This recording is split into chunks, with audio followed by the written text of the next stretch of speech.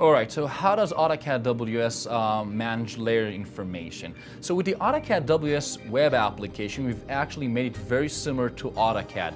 So when you pick an object, you move it basically, that object remains in the same layer that it was, which is very simple and intuitive.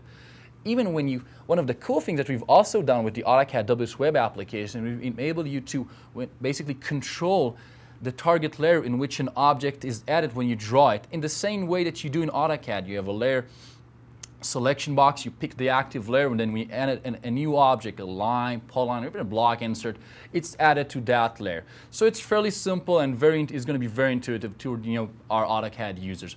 For the mobile applications, it's fairly similar, but with the mobile, as I said, we want to keep things very simple and very intuitive when you're out in the field and using a mobile device. So when you edit a, a drawing, sorry, when you edit a drawing with the mobile application, you move an object, that object will remain in its own original layer.